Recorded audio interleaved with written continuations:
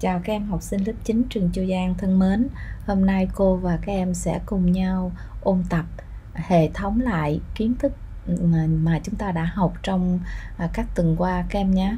Mời các em lấy tập, lấy sách, đồng thời lấy luôn cả tập bản đồ ra. Các em à, chú ý lắng nghe phần cô à, giảng và ghi chép bài đầy đủ các em nhé.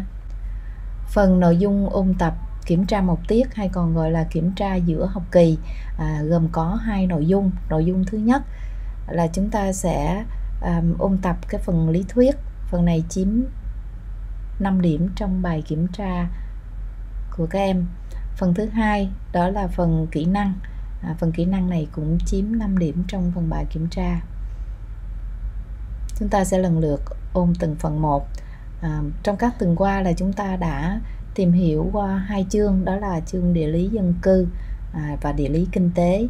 Ở chương 1 địa lý dân cư từ bài 1 đến bài 5 à, các em đã làm bài kiểm tra 15 phút rồi do đó ở phần địa lý dân cư này cô sẽ không hỏi lại à, phần kiến thức à, trong bài kiểm tra một tiết. Trọng tâm chủ yếu sẽ rơi vào phần địa lý kinh tế. À, địa lý kinh tế bắt đầu từ bài số 6 cho đến à, bài số 16 về phần lý thuyết à, chúng ta sẽ tìm hiểu về phần kinh tế. À, nói đến hoạt động kinh tế chúng ta sẽ tìm hiểu ba khu vực. Khu vực thứ nhất đó là khu vực 1 bao gồm 3 ngành. Đó là ngành nông nghiệp lâm nghiệp và ngư nghiệp. À, khu vực thứ hai bao gồm các ngành đó là ngành công nghiệp và xây dựng. Khu vực thứ ba bao gồm các ngành đó là ngành à, dịch vụ. À, ở khu vực 1 bao gồm 3 nhóm ngành nhóm ngành nông nghiệp, lâm nghiệp, ngư nghiệp. À, chúng ta học từ bài 7 cho đến bài 9 ở khu vực này à, cô sẽ cho ra phần lý thuyết. Trọng tâm là sẽ hỏi về đặc điểm của à, ngành trồng trọt à, và à, ngành lâm nghiệp à, tức là nghề rừng.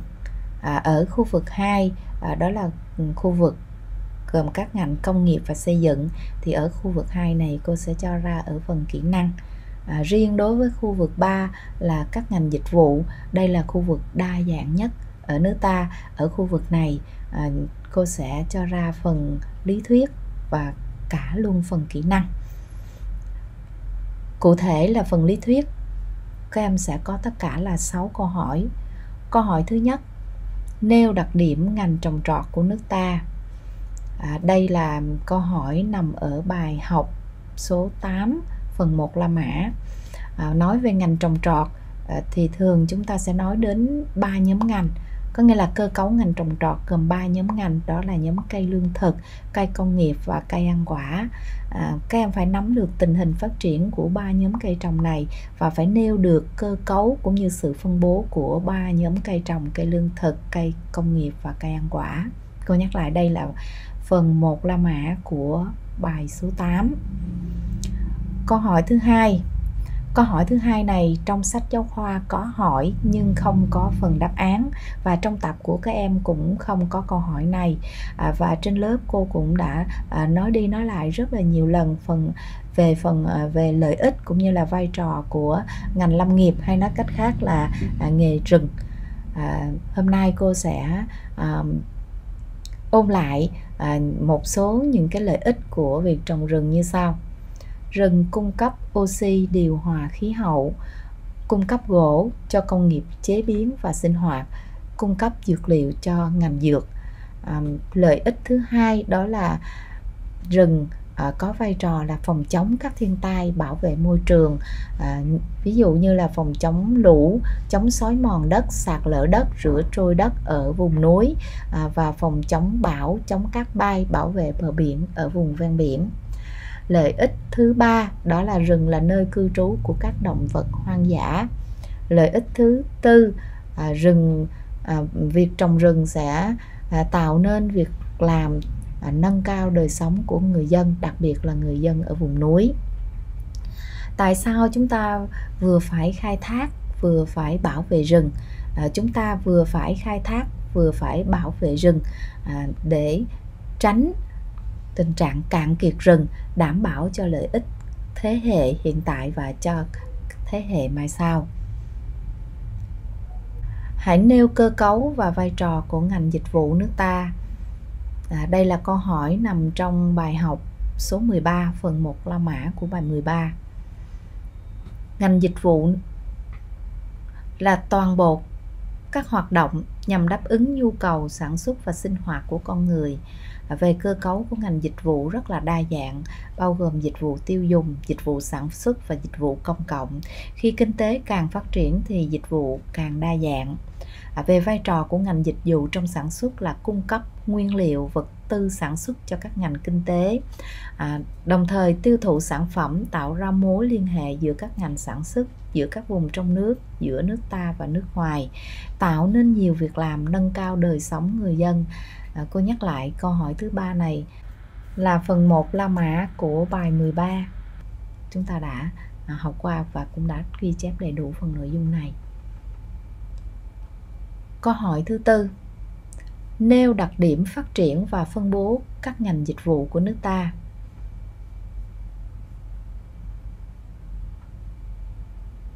Đây là phần 2 La Mã của bài à, 13 Đặc điểm phát triển khu vực dịch vụ tuy chỉ chiếm 20% lao động, nhưng lại chiếm tỷ trọng cao trong cơ cấu của ngành kinh tế của nước ta. Các hoạt động dịch vụ ngày càng phát triển nhanh và đa dạng. Sự phân bố các ngành dịch vụ phụ thuộc chặt chẽ vào sự phân bố dân cư và sự phát triển của sản xuất. Các hoạt động dịch vụ của nước ta phát triển không đều. À, Hà Nội và thành phố Hồ Chí Minh là hai trung tâm dịch vụ lớn nhất và đa dạng nhất ở nước ta. Câu hỏi thứ năm Nêu vai trò của hoạt động ngoại thương đối với nền kinh tế của nước ta Hoạt động ngoại thương là hoạt động kinh tế đối ngoại quan trọng nhất ở nước ta. Các mặt hàng xuất khẩu à, chủ yếu ở nước ta đó là các hàng mặt hàng nông lâm thủy sản bao gồm gạo, cà phê, chè, thủy sản đông lạnh, gỗ vân vân. À, với các mặt hàng công nghiệp nhẹ, tiểu thủ công nghiệp như là những hàng dệt may, mây tre đan vân vân và khoáng sản gồm có than đá và dầu thô. Các mặt hàng nhập khẩu phần lớn là tất cả ừ, các thiết bị, nguyên liệu, nhiên liệu và một số mặt hàng tiêu dùng cao cấp. Hiện nay nước ta có mối quan hệ buôn bán với các thị trường thị trường châu Á, Thái Bình Dương à, bao gồm có các nước như Nhật, Hàn Quốc, Trung Quốc, Australia, Đài Loan và các nước thuộc khối ASEAN, à, khu vực châu Âu và khu vực Bắc Mỹ. Đây là phần 1 La Mã của bài số 15. Nội dung bài 15 Câu hỏi số 6 Hiện nay nước ta đang mở rộng quan hệ buôn bán nhiều nhất với thị trường khu vực nào trên thế giới? Kể tên các nước trong khu vực này và giải thích tại sao. Câu hỏi thứ sáu này có liên quan đến câu số 5. Câu số 5 là nước ta đang mở rộng buôn bán với nhiều thị trường. À, thị trường thứ nhất đó là khu vực châu Á Thái Bình Dương. Thị trường thứ hai đó là châu Âu. Thị trường thứ ba là thị trường Bắc Mỹ. Đây là ba cái thị trường lớn mà chúng ta à, buôn bán thường xuyên. Trong đó thị trường mà chúng ta buôn bán nhiều nhất đó là thị trường châu Á Thái Bình Dương bao gồm Nhật Hàn Quốc Trung Quốc Australia Đài Loan và các nước trong khối ASEAN. À, tại sao chúng ta lại à, buôn bán à, nhiều với khu vực này? Thứ nhất đây là khu vực đông dân có tốc độ phát triển nhanh. Thứ hai khu vực này có vị trí gần với nước ta nên thuận lợi cho việc vận chuyển giao nhận hàng hóa. Và thứ ba à, thị hiếu tiêu dùng của các nước này có những điểm tương đồng nhau. Chính vì vậy mà à, hàng hóa của chúng ta sẽ dễ xâm nhập vào thị trường khu vực châu Á Thái Bình Dương. Và thứ tư à, tiêu chuẩn hàng hóa À, của khu vực châu Á Thái Bình Dương đòi hỏi không cao. Điều này phù hợp với trình độ sản xuất còn thấp ở nước ta. Đây là 6 câu hỏi lý thuyết. Về phần thứ hai là phần kỹ năng chiếm 50% số điểm trong bài kiểm tra của các em. À, bao gồm có hai phần. Phần thứ nhất là đọc tập bản đồ và phần thứ hai là vẽ biểu đồ và nêu nhận xét. Thường phần thứ nhất đọc tập bản đồ sẽ chiếm 2 điểm còn phần thứ hai là vẽ biểu đồ à, và nêu nhận xét sẽ chiếm 3 điểm. Ở phần kỹ năng thứ nhất đọc tập bản đồ cô có các câu hỏi sau đây chúng ta sẽ dựa vào tập bản đồ. Câu hỏi thứ nhất, dựa vào tập bản đồ. Địa lý chính, trang số 13 em hãy kể tên các trung tâm công nghiệp lớn ở nước ta. Hãy cho biết trung tâm công nghiệp nào là lớn nhất và đa dạng nhất, nêu các ngành công nghiệp trong trung tâm này. Câu hỏi thứ hai, cũng dựa vào tập bản đồ ở trang 14 các em hãy kể tên các nhà máy, điện bao gồm có nhà máy thủy điện và nhà máy nhiệt điện của nước ta. Câu hỏi thứ ba cũng dựa vào tập bản đồ ở trang 15 em hãy nêu các cảng biển ở nước ta. Theo quy tắc là chúng ta sẽ đọc từ trên xuống, tức là từ bắc xuống nam, có bao nhiêu cảng biển chúng ta phải kể ra hết, các em nhé. Câu hỏi thứ tư cũng dựa vào tập bản đồ trang 17 em hãy kể tên các bãi tắm đẹp nổi tiếng ở nước ta.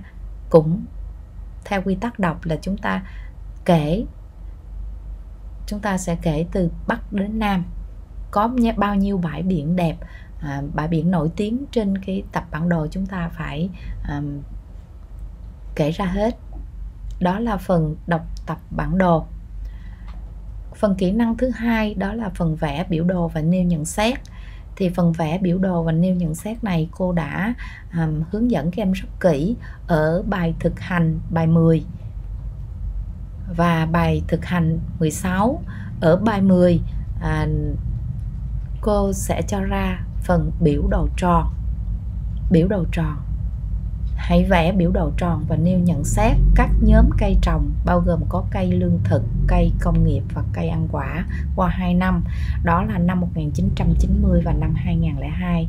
Các em đã thực hành bài này ít nhất là hai lần ở trên lớp rồi. Có không nè? Và bài số 16 là hãy vẽ biểu đồ miền và nêu nhận xét.